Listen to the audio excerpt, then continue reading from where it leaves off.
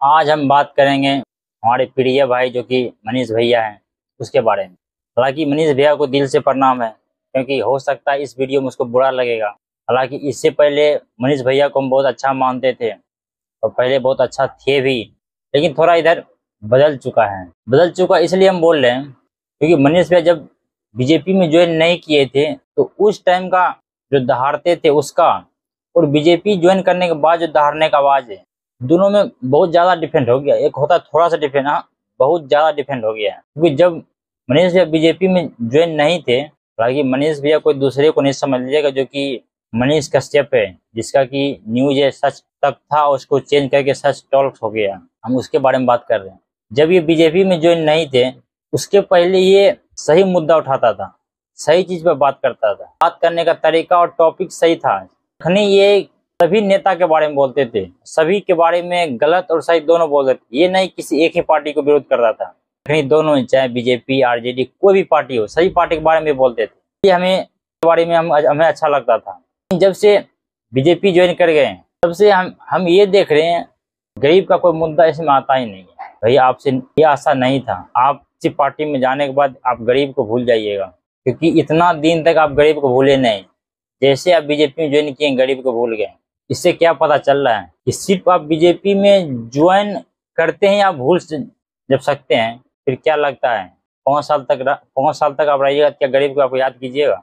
BJP join करने से पहले आपका हर वीडियो हम देखते थे और हर वीडियो लाइक भी करते थे। क्योंकि वो चीज़ हमें बहुत अच्छा लगता था। लेकिन जिस दिन हमें ये लग, पता चला आप बीजेपी में ज्वाइन किए हैं और आपका भाषण हम सुने उसी दिन से हमें बकवास लग गया कि हम हमको लगा कोई दम ही नहीं है। कोई गरीब का मुद्दा ही नहीं आ रहा। और एक बार और मैं बता देता हूँ।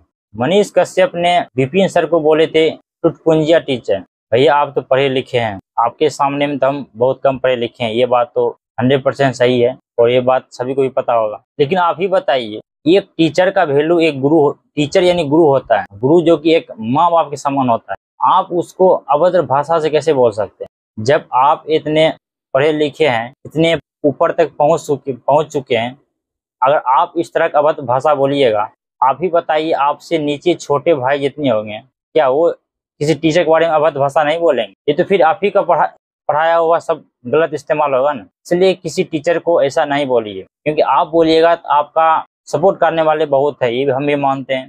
फिर वो किसी टीचर को उस तरह से बोलेगा तो ये फिर गलत बात है ना।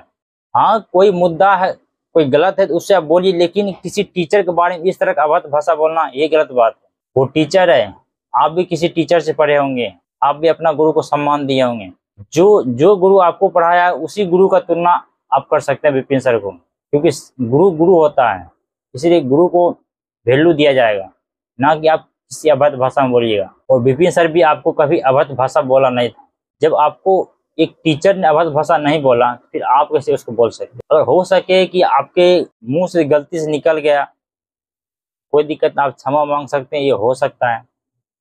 तो ये तो विपिन सर का क्या वो क्षमा करेंगे, नहीं करेंगे तो उसका बात है। लेकिन मेरा कहना ये है, किसी टीचर के बारे में ऐसे अभद्र भाषा नहीं बोल सकते। वहाँ की खैर तो जनता को पता ही चल ही गया, जब से आप बीजेपी ज्वाइन किए हैं, तब से आपके बोले में एक होता थोड़ा चेंजिंग जबकि थोड़ा नहीं है। ये हंड्रेड परसेंट चेंजिंग हो गया है। इसलिए अभी भी मौका है, अभी भी थोड़ा चेंजिंग लाइए। गरीब को, जैसे पहले गरीब को उठाते थे, उसी तरह फिर गरीब से उठाइए। पहले पहले वाले मनीष का कश्यप था, गरीबों का मसला लेकिन अब हमें नहीं लग रहा है। जब आप निर्दलीय थे, तब आप लग रहे थे गरीब का मसीहा मनीष कश्यप, ये कहीं न कहीं सही है। लेकिन जब से आप बीजेपी ज्वाइन किए तब से हमें कहीं दिख नहीं रहा है गरीबों का मसीहा मनीष कश्यप। हम कहीं ये बात जैसे बोलता है, फिर हमें बेकार लगने लग जाता इसलिए इस चीज़ पर ध्यान दें और अगर बुरा लगा हो तो दोबारा बोलते हैं, दिल से क्षमा मांग रहे हैं, क्योंकि मेरा काम था बोलना। मुझे जो लगा, वो चीज़ हम इस वीडियो के माध्यम से आपको बताएँ। अगर आपको अच्छा लगा, फिर तो कोई बात ही ना अगर बुरा लगा तो दिल से क्षमा मांग रहे हैं। चलिए, आप लोग बताइएगा क्या ये बात सही है या गलत, ये आप कमेंट करके बताइएगा। चलिए, मिलते हैं नेक्स्ट वीडियो में, तब तक के लिए जय हिंद।